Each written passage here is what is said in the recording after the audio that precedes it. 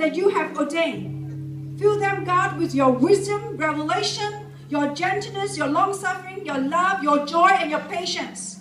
May your love, nurture, and nourishment flows from them to their families today.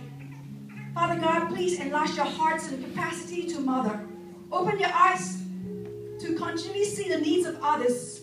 Help them always to serve in self sacrificing love. Let them be a revelation of your mother heart to their families and those around them. Thank you for mothers, Lord, this morning. Bless everyone. In mighty name of Jesus we pray. Amen.